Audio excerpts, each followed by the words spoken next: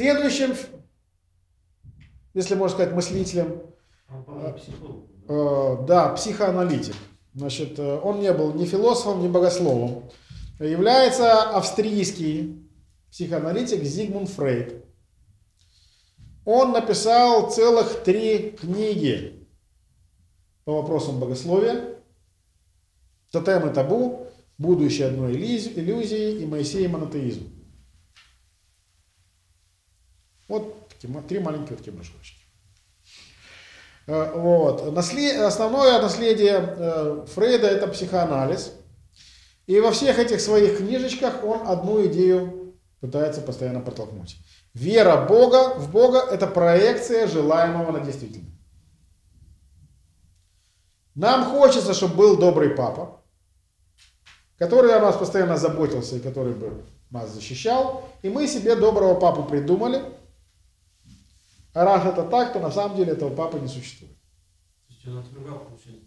Да, он как раз вот, э, в, э, в отличие от всех предыдущих мыслителей, Фрейд категорически отвергал идею Бога. Э, сам он из еврейской семьи, вот, но является, являлся всю жизнь убежденным атеистом. И э, рассуждение сводится к следующему.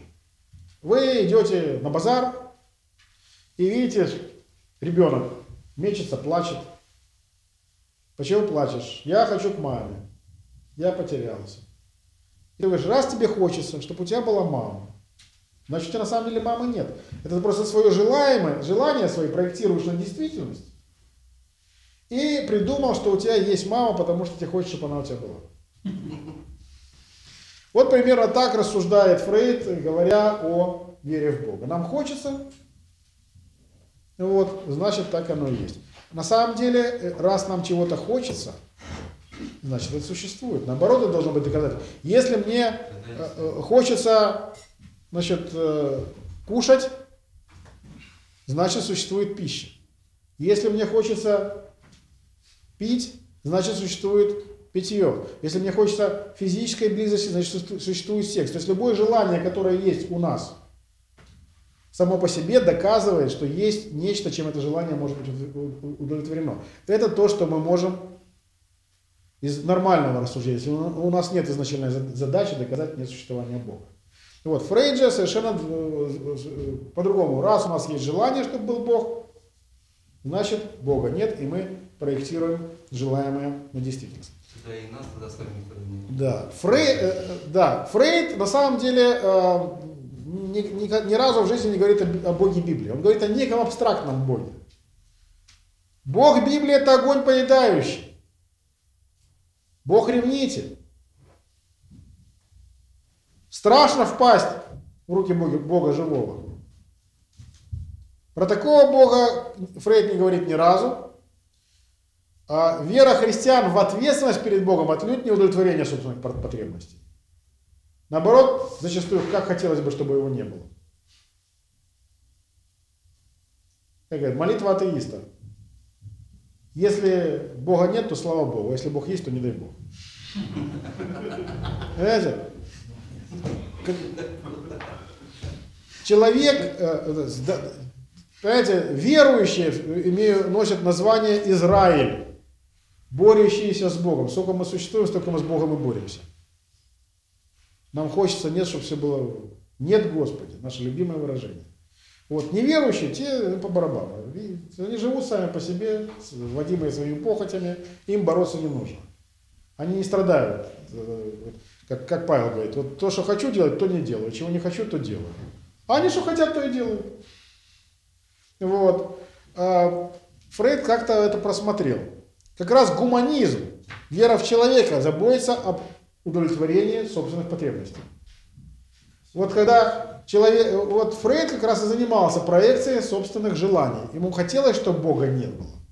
И он проектирует вот это на действительность. Но истина, значит, Фрейд, во-первых, допускает генетическую ошибку. Помните, мы в логике разбирали. Истинность учения не определяется аспектами его происхождения. Происходит ли это от желания нашего, что Бог есть, или из логических соображений. Э, откуда бы это ни произошло, это не определяет истинно это или ложь. Истина это ложь определяется теми самыми критериями, о которых мы с вами говорили. Далее Фрейд сам признавал, что на его анализ влияют субъективные ожидания, которые э, оказываются зависимы от чисто личных факторов собственного опыта. И уж факторов опыта достаточно, э, достаточно почитать о жизни Фрейда, на нашем сайте вы можете найти статьи о Фрейде, э, о том, как его мировоззрение складывалось. Далее, значит, книга в библиотеке есть, но есть очень интересная статья, которая как книга никогда не была издана, она у нас есть на сайте. Вот, о вообще всех этих происхождениях этих идей, о, о комплексе вины, который был у самого Фрейда, который пытался на остальных их Э, его перевесить. А Фрейд ни разу не рассматривал идею Бога или метафизические основания веры систематически. Он говорит о неком суеверии, неком абстрактном вере в что-то, что такое есть. Далее его эпистемология, то есть попытки его узнать о чем-то, противоречат его же психологическому релятивизму. То есть э, психологически может быть так, может быть так, но значит, э, Э, познаем только своим личным опытом. А Фрейд ни разу не, раз, не, не, не изучал никаких работ по религии, по богословию, то есть все он взял чисто из своего собственного соображения. Он не, нет даже нигде ни цитаты, ни намеков на а, какие-либо метафизические системы или труды отцов церкви или какие, какие-либо богословские системы.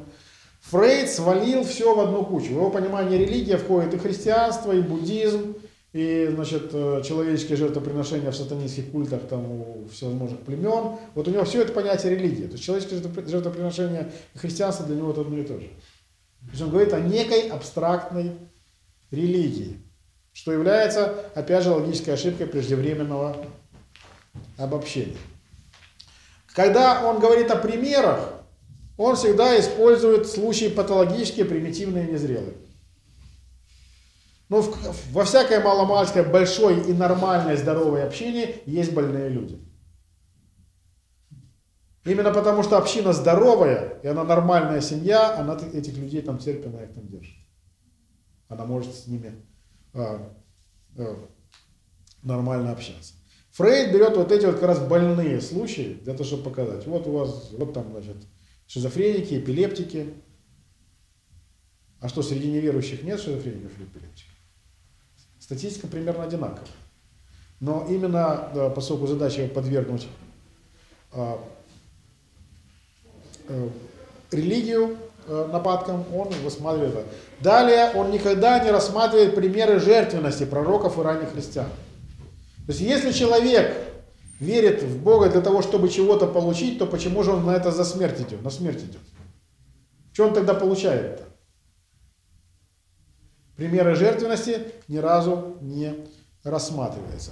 Таким образом, сам метод Фрейда, который использует так называемое доказательство от желаемого.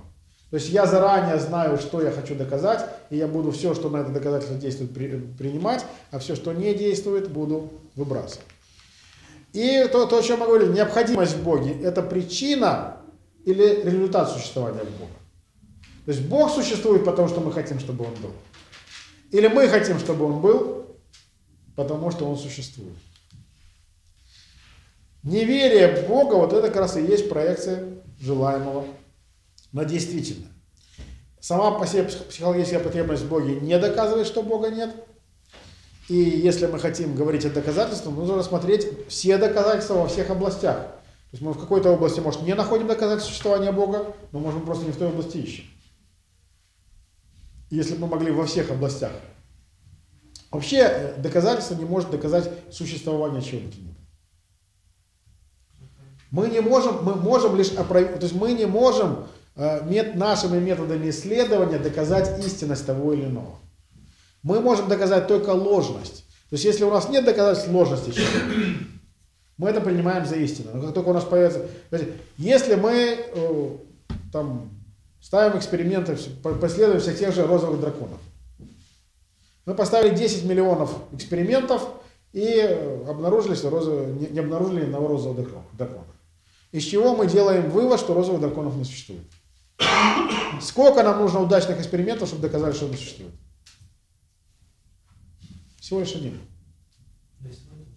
Один эксперимент, который покажет существование розового дракона, отвергает десятки миллионов, показывающих нет существования. Вот. Э, поэтому, э, если мы хотим, то есть для того, чтобы вообще э, мало изучал Фрейд, видать, еще античную философию, потому что Сократ в свое время, и, значит, хорошая книжка у библиотеке называется «Главная жизнь», где идеи Сократа переведены в контекст современной, современной жизни, современного мира.